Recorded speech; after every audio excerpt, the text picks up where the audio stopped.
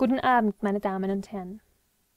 Das Thema dieser Sendung ist, wie der Satanskult salonfähig gemacht wird.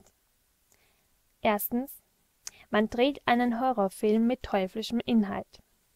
Devil's Due, zu Deutsch Teufelsbrut. Das in den USA verbotene Werbeplakat zeigt eine mit Blut übergossene und kopfüber an einem Kreuz aufgehängte Schwangere mit der Überschrift Nicht alle Wunder stammen von Gott. In Deutschland wird mit dem Blutplakat geworben und es wird in Gewinnspielen verlost. Zweitens. Man stellt ein Werbevideo mit perfidem Inhalt ins Netz. Devil Baby Attack Teufelsbaby-Attacke es zeigt, wie ein ferngesteuerter Kinderwagen durch die Straßen New Yorks rollt.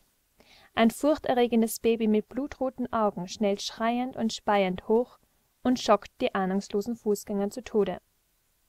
Der Clip ist in Fernsehshows, zum Beispiel bei Stefan Raab und bei YouTube, mit über 10 Millionen Klicks in nur 24 Stunden der absolute Hit.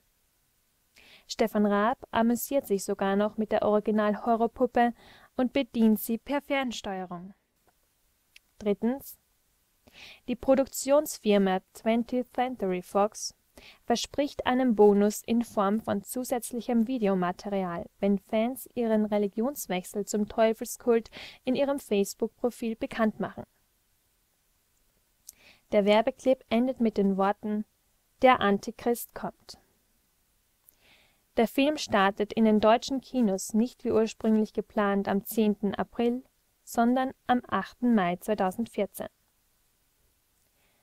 In diesem Film, meine Damen und Herren, verharmlost man grausamste Praktiken des Satanskultes, den es leider nicht nur im Kino, sondern auch in der Realität gibt.